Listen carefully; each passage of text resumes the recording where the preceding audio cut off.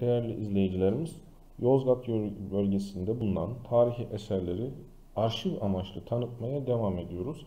Yine aynı şekilde okumuş olduğum metnin videosunu bırakacağım. Oradan videomuzu durdurarak da takip edebilirsiniz kendiniz. Bugünkü anlatacağım e, camimiz Nakipzade Hoşyar Kadim Camii. Bu Yozgat merkezde Köseoğlu mahallesindedir. Yapı harime giriş kapısı üzerinde kitabesine göre tarihlendirilir. Kitabede şöyle yazıyor. Mihri Burcu Saltanat Beyhan Sultan Kamran. Manevi duhterleri hoşyar kadın ol mihriban. Han Mahmud'un ikinci kadınıdır.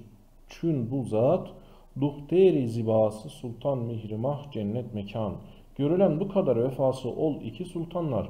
Oldular gülşen serayı adne iffetle revan Ruhlarına hasbeten lillah bahş etmek için sarf-ı hayrat eyledi hoşyar kadın takdir heman.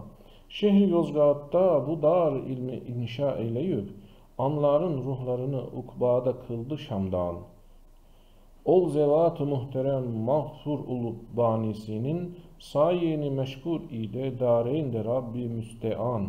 Ey ziyayı söyle şayeste buna tarihi tam, öyle bir medresedir bu sanasın ini cinan.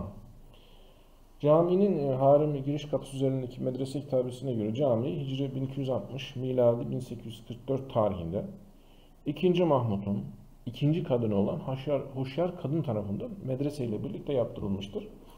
Kitabede Beyhan Sultan'ın manevi kızı, Mihrimah Sultan'ın kızı gibi görülen Hoşyar kadın aslında Beyhan Sultan'ın manevi annesi, Mihrimah Sultan'ın öz annesidir. Her iki kızının da kendinden önce öldüğü kitabede belirtileri onların adına bu eseri yaptırdığı da yazılıdır. Ayrıca bu kitabede Ziya isimli birisi, e, birisi tarafından da yazılmıştır. E, metindeki videoda açıklama kısmında Hoşyar Kadın'ın da tanıtımı hayatı hakkında kısa bilgi bulunmaktadır. Evet devam ediyoruz. Kitabenin başka caminin iki tane de vakfiyesi vardır. Vakfiyelerden ilki Hicri 7 Zilhicce 1268 yani miladi 21 Eylül 1852'den önce tarihlidir. Bu vakfiyede banisi yani yapıcısı camiye 12 bin kuruş para vakfında bulunarak bu para ile caminin bakım ve tamir ile diğer masraflarının yapılmasını ister. İkinci vakıf ise Hicri 26 Cemaziyel evvel 1332 yani miladi 22 Nisan 1914 tarihlidir. Bu vakfiye Yozgat Tekke mahallesinde oturan Sivas Ziraat Bankası müfettişi Ayın Tabı Zade Mustafa Mazhar Bey bin Hacı Ömer Lütfü Bey tarafından bir takım gayrimenkul gelirlerinden vakfedilen yıllık 500 kuruş gelirdir. Vakfın şartlarına göre gelirin her yıl 200 kuruşu caminin tamir ve bakımına, 30 kuruşu ise su yollarının tamirine harcanacaktı. Harim yani namaz kılınan orta salon boyuna e, dikdörtgen planlı ve düz tavanlıdır.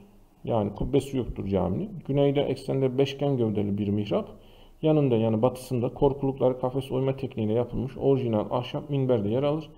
Mihrap renkli mermerlerle yapılmıştır. Doğu duvarda güneydeki pencerelerden ikisinin arasında pencere içinden geçilerek çıkılan balkonumsu bir vaiz kürsüsü vardır. Resimde incelerseniz göreceksiniz. E, vaiz köşkünün ahşap parmaklıklarla, yanları taş silmelerle süslenmiş, yuvarlak kemerlidir. Harimin kuzeyinde önü balkon gibi güneye doğru çıkıntı yapan bir mahfil bulunur. Mahvile son cemaat yerinin kuzeydoğusundaki son cemaat yan duvar içindeki merdivenlerle çıkılır.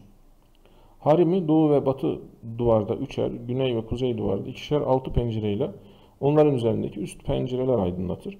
Alt pencereler içten ve dıştan renk almaşığı ile yapılmış silmelerle vurgulanmıştır. Alt ve üst pencere arasında kademeli iki kaval silme tüm yapıyı çepeçevre dolaşır. Bu silmenin bir cam mekanla kapalı, dört sütun üzerine oturan, üç tane yuvarlak kemerle dışarı açılan çift katlı bir son cemaat yeri vardır.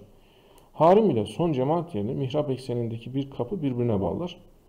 Son cemaat yeriyle harimin birleştiği köşede kare kaydeli, çokgen gövdeli, halka biçimli, kaval silmeli, şerefeli bir minare bulunur. Minareye güneybatı köşedeki kapıdan çıkılır. Harim içinde süsleme olarak minberin kafes oyma tekniğiyle yapılmış korkulukları Vaiz kürsüsü köşkü ve yanındaki selvi motifli e, bezemelerle kesme taştan yapılan binanın duvarlarındaki silmeleri dikkat çeker. Evet izleyicilerimiz videomuz burada sona erecek. Bu videoları yapma amacımız Yozgat yöresinde bulunan tarih eserlerin farkındalığını oluşturmak, buraları tamir ettirmek, ve bu eserlerin e, kıymetini bildirmek ve buraları ziyaretçi e, çekmek amacıyla yapılmaktadır. Hepinize iyi günler diliyorum.